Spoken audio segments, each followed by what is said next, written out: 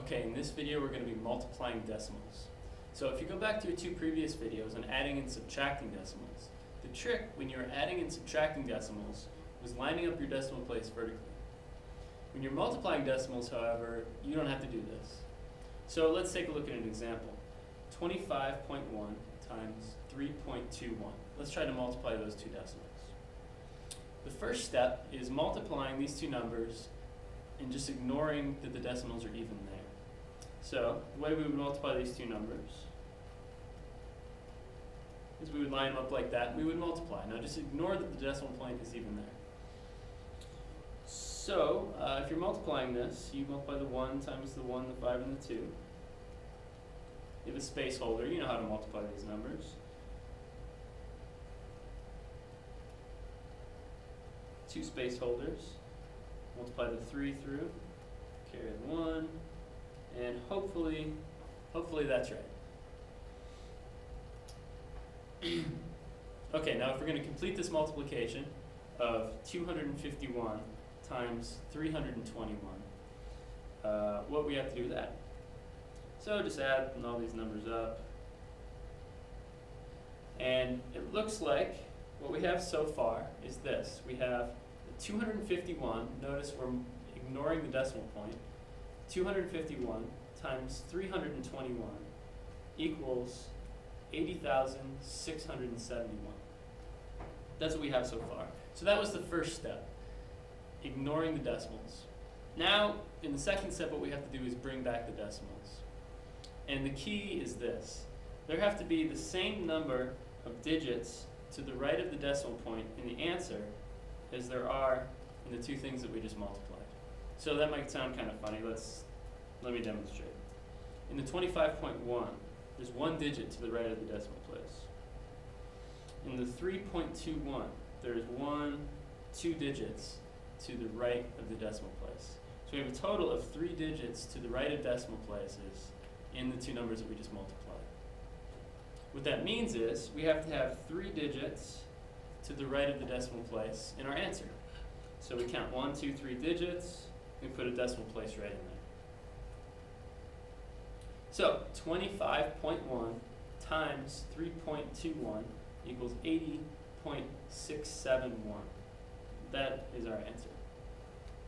How about an example that you can do?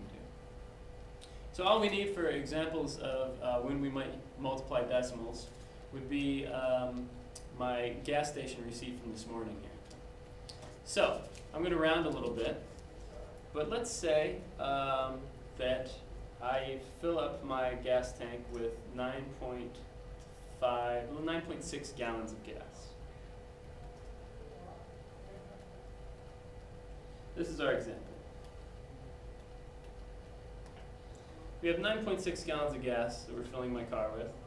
And the cost per gallon when I round is uh, 3.78. A dollar, $3.78 per gallon.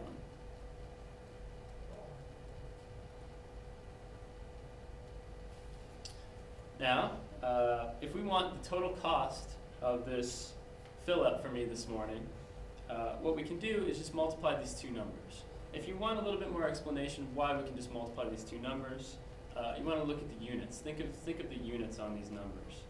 Uh, we have 9.6 gallons.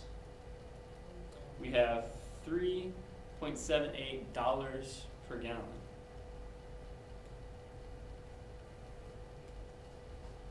Now if we want our answer to be in dollars, then what we can do is just multiply these two numbers, 9.6 gallons times 3.78 dollars per gallon. What happens is the gallon here in the numerator cancels with the gallon there in uh, the denominator, and what we're left with is 9.6 times 3.78 and the units on that is our dollars. So this is kind of like a word problem. I snuck it in there. Um, so anyway, this morning I put 9.6 gallons of gas in my car. The cost per gallon was $3.78 per gallon. We want the total cost, we just multiply those two numbers. So let's do it. So the final problem that we want to do here is we want to multiply 9.6 times 3.78.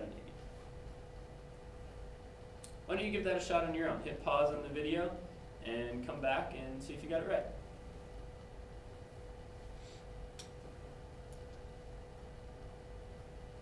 Okay, let's see if we can multiply these two numbers. Uh, now we could do this uh, more than one way, but the way I usually like to multiply my numbers is I like to put the one with the most digits on top. We want to multiply those two decimals by each other.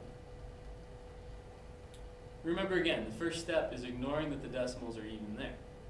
So let's multiply 378 times 96 and see what we get. We'll worry about the decimals later. So let's see, 6 times 8 is 48. Uh, 7 times 6 is 42, plus 6 is 46. Hoping I don't mess this up. Uh, 3 times 6 is 18, plus 4 is 22. Okay, now we need to go to the 9. We have a space holder. 9 times 8 is 72. 9 times 7 is 63, plus 7 is 70. Carry the 7.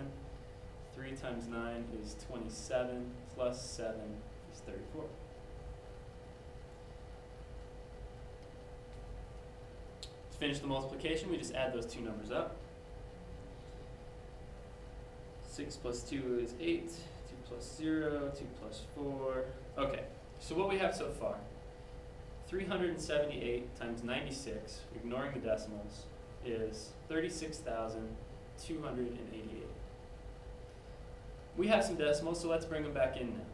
What we do is we count the decimal, the digits to the right of the decimal in the original problem, in the multiplication. It looks like we have three digits to the right of decimal places in the problem. That means we need three digits to the right of our decimal places in the answer. So, we count one, two, three digits, and we put a decimal place in there. The answer to this problem, of course, is going to be in dollars. This we're asking how much did I pay for my gas this morning. Uh, so we're going to round this to the nearest cent, which means we're going to round to $36.29. That's how much I paid for my gas this morning. Alright, great. So that's it for multiplying decimals. Um, come back and we're going to do some division of decimals in the next video.